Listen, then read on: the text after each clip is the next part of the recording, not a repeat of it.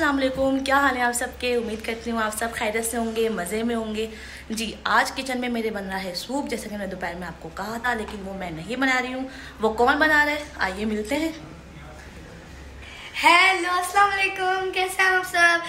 मैं अभी अपनी आयशा चाची के घर आई हुई हूँ और मैंने से बोला कि मैं भी आपकी हेल्प करवा देती हूँ। तो अब मैं इस वजह से मैंने फ़िल्टर लगाया है। और ये है हमारे छोटे शेफ़ एक बहुत ही स्पेशल बंदे के लिए। तो आज किचन में मैं सूप नहीं बना रही हूँ। आज मेरे किचन में खान सामा एक बहुत बड़ी शेफ़ आई हुई है।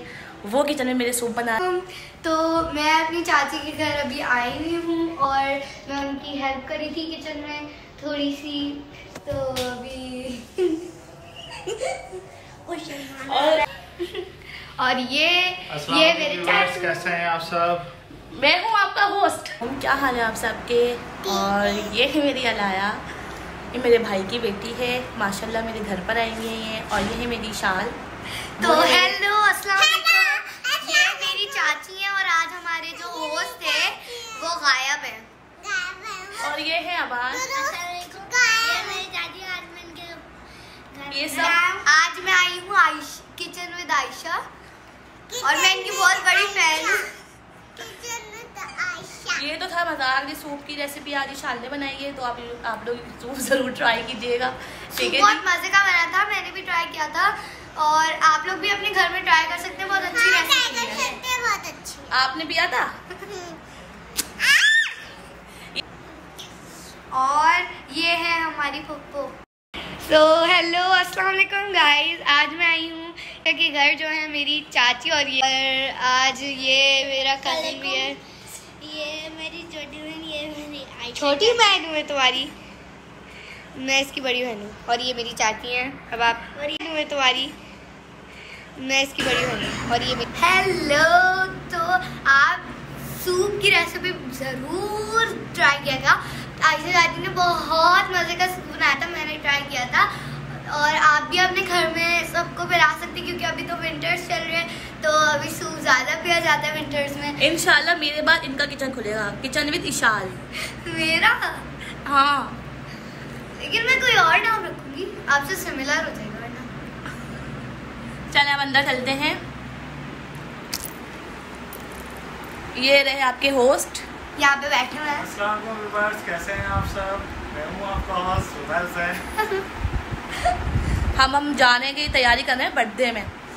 तो इस वजह से हम सब मेरे चाचू नीचे वाले चाचू मेरे नीचे वाले जो चाचू है ना उनके बेटे की बर्थडे तभी हम लोग जा रहे हैं वहाँ पे। इसलिए हम लोग इतना इसीलिए आज हम लोग इतना तैयार तैयार हुए हुए हैं और हमने सूप भी पिला दिया है। माशाल्लाह भाई को भी सूप बहुत ज़्यादा पसंद आया है।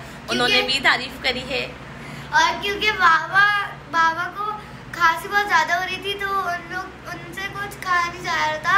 तो आयशा चाची ने उनके लिए सूप बना दिया था फिर बाबा ने अच्छा तो बस अब हम लोग जा रहे हैं नीचे। मैं उम्मीद करते होंगे मैं कोशिश करूँगी कि मैं नीचे जाकर भी वीडियो बनाऊँ।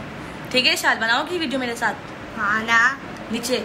हाँ तो बनाऊँगी ना नीचे तो। लेकिन इस तरह से नीचे मैं जाके ब्लॉगिंग नहीं कर सकूँगी क्योंकि आपको पता है आप कैसे शर्माती है।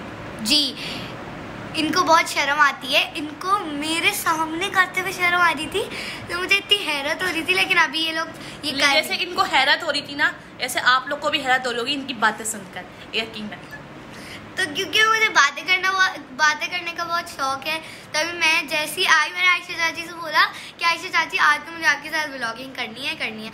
क्योंकि मैं बहुत कम आती हूँ यहाँ लेकिन इनका बैड लग के जब ये आई थी तो हमारे यहाँ लाइट गई हुई थी।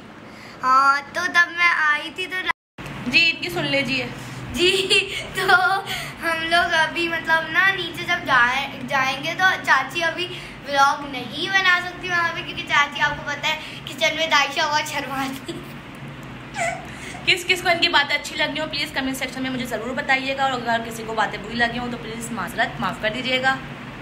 से सॉरी चल। सॉरी तो आइए मैं आपको जो इस किचन के होस्ट हैं यानी कि जुबैर हुसैन उनसे मिलाती हूँ आज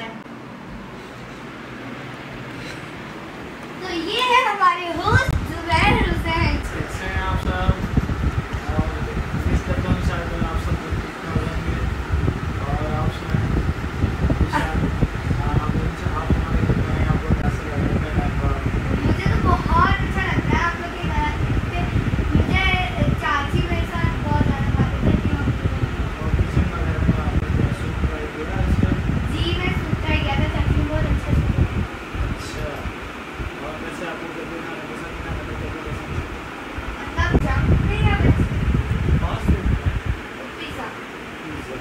इन शाला मैक्स रेसिपी जब हम बनाएँगे पिज़्ज़ा तो स्पेशली हमारी शायरी ने होगी।